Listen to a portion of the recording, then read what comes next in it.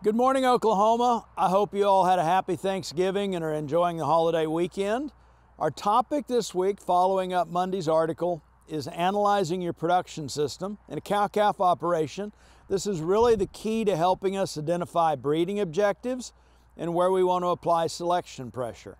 So how do we go about doing this? Well, basically, we break our production system down into its basic components. One of those is our cattle the basic genotype of those cattle. And you can think about that relative to how you would describe your cattle, their level of performance, relative to all these other factors that we're going to get into. Second component that we get into is just the production environment that you're in. This always gets interesting in cow-calf operations. There is an extreme variety of production environments that we deal with in North America as far as beef cow production. And if we think about the cow-calf sector in particular, cattle are still converting forage into pounds of calves weaned in much the same fashion that their feral ancestors did. The altitude that you operate at, the soil type you have, the quantity and quality of your forage base, particularly if it's native grass, are all things that we have very little control over, but they are the production environment that we have to have a cow herd that fits and a cow herd that fits their production environment is going to be a lot more efficient in the whole scheme of things. Next component, we want to think about fixed resources and management. And what do we mean by fixed resources? Something as basic, how many acres of pasture do we actually have? Are we looking at a quarter section of native grass? Are we looking at two sections of an improved type of pasture like a Bermuda grass? Uh, and we move from that and think about our management. Management is basically all those practices that we implement as the owners and managers of a cow-calf operation. Management is things like breeding and selection decisions, controlling the genotypes of our cattle relative to our marketing plan.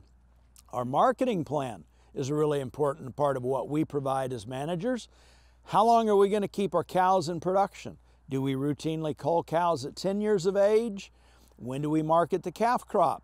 Are we marketing wean calves? Are we doing that with documentation of their genetic potential to perform for the next owners?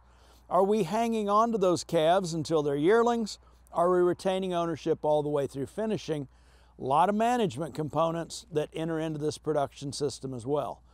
Final component that we get into is just the economics.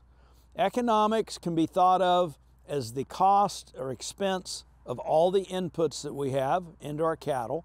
That can be feed, fuel, fertilizer, equipment. We also want to think about the value of the outputs.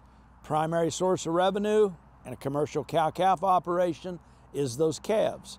We're living in a time they've got great value. But there's other aspects to economics as well, particularly what is the current interest rate? What is our debt to equity situation? Do we own all of our land and all of our cattle free and clear? Do we still servicing debt on those? A lot of times that amount of equity we have influences a great deal what our marketing plan for calves is going to be.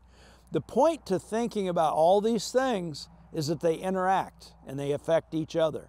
In the end, by taking a look at all of them, we want to make selection decisions, mating decisions, apply selection pressure, and identify breeding objectives that coincide with our marketing plan, make optimum use of the resources that are available to us, and take advantage of the economic situation that we're in.